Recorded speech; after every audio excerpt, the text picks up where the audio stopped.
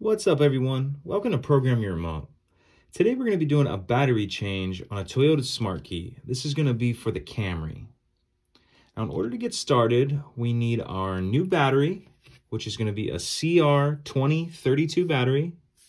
And then we need just a small screwdriver or something with a little point on it, and that's going to help us get the battery out.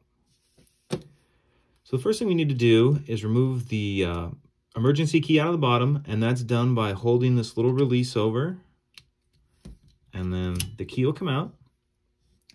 Now, if you notice, there's a little bit of a lip on this key, and that's gonna fit in this slot right here. Not sure if the camera will pick it up, but if you look on yours, you'll see it.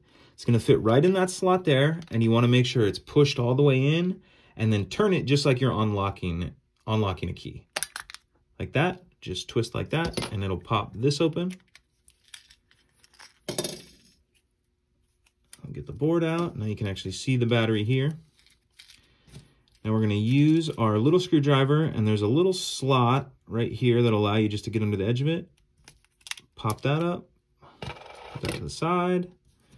Got our new battery here. Again, it's a CR2032, and we want to install this plus side up. Plus side up. So snap that in. And I always like to check it before I put it back together. You can see it's lighting up there. Oops.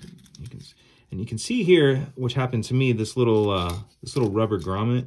You want to make sure that that's seated in there properly. Otherwise it won't shut. Okay, that looks like that's good now. So we got that situated. Now we can go ahead and pop the back on.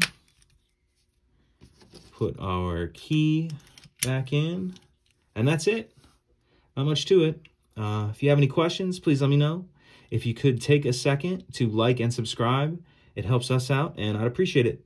Thank you.